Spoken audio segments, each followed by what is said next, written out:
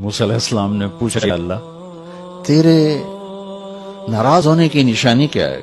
हमें कैसे पता चले कि तू नाराज़ है? तो अल्लाह ताला ने फरमाया, जब तू देखे कि बारिश बगैर मौसम के हो रही है और हुकूमत बेवकूफ़ों के पास है और पैसा बखीलों के पास है तो तुम समझना कि मैं नाराज़ हो चुका जब बारिश बेमौसम हो, बेवक्त हो हुकूमत निकम्मों के पास हो, पैसा बखीलों के पास हो तो समझो मैं नाराज़ अच्छा फिर तेरे राज़ी होने की क्या निशानी? क्या जब तू देखे कि बारिशें मौके पे होती हैं, और हुकूमत अक्लमंद समझदार लोगों के हाथ में है, और पैसा सखियों के हाथ में है तो समझो कि मैं राज़ी हूँ।